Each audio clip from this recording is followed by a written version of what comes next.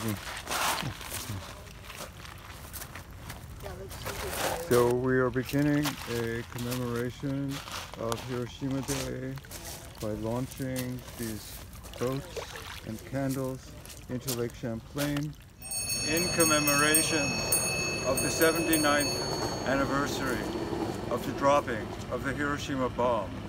We are reading parts of House Resolution 77 called Embracing the Goals and Provisions of the Treaty of the Prohibition of Nuclear Weapons. This was sponsored by, first of all, Representative McGovern, James McGovern of Massachusetts, on the 31st of January in 2023 in the House Foreign Affairs and Armed Services Committee. It embraces the Treaty on the Prohibition of Nuclear Weapons, which was first created in 2017. We are going to read just the provisions that are asked for in this resolution, which is full of tremendous details about the destructive power and the potential destruct destructive power of another release of nuclear bombs in this very tense situation that we are having in the world right now. So, whereas on July 7th, 2017, an alternative global nuclear policy was adopted by 122 nations by signing the Treaty on the Prohibition of Nuclear Weapons, which calls for the elimination of all nuclear weapons.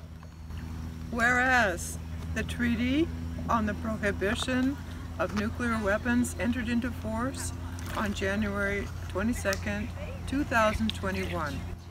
Whereas on January 24th, 2023, the Science and Security Board of the Bulletin of the Atomic Scientists set their iconic doomsday clock to 90 seconds to midnight, the closest it has ever signaled how close humanity is to self-destruction and urged governments to take action to make the world safer.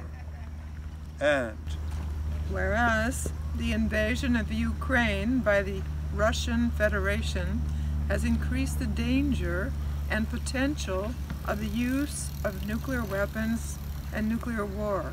Now, therefore, be it resolved that it is the sense of the House of Representatives that the United States, one, calls on the President to embrace the goals and provisions of the Treaty on the Prohibition of Nuclear Weapons and make nuclear disarmament the centerpiece of the national security policy of the United States. And two, calls on the Secretary of State, the Secretary of Defense, all other federal and congressional leaders of the United States and the American people to lead a global effort to move the world back from the nuclear brink and to prevent nuclear war by A.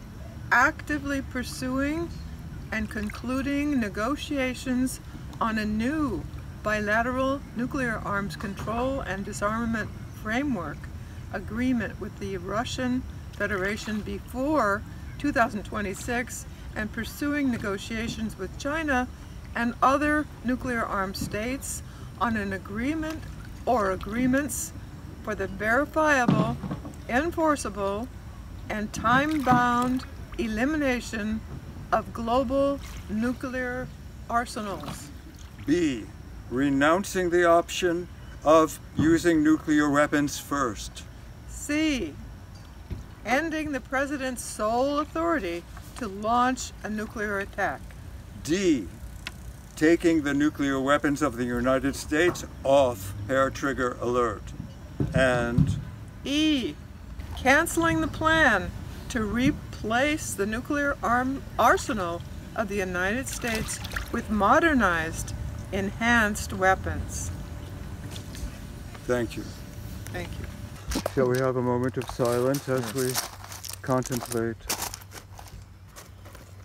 this day of the 79th anniversary of the Hiroshima bomb.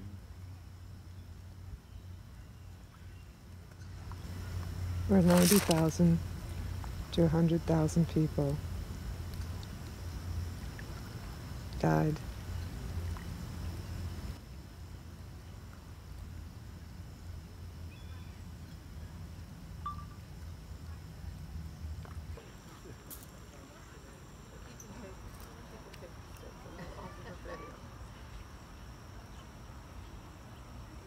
So we came down to Lake Champlain uh, on Hiroshima Day, and it's the custom to float little candle boats in the water, uh, as they do in Hiroshima and Nagasaki at this time of year. And not just candle boats, but we also have a lantern that was made by Jim Geyer and uh, and um, Jean Plo.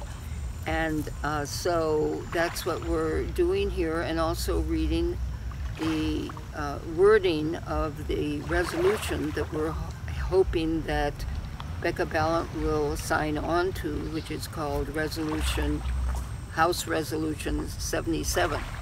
And um, being here has been very peaceful, and we've just sat here and watched the uh, candles burn down, and it's been beautiful.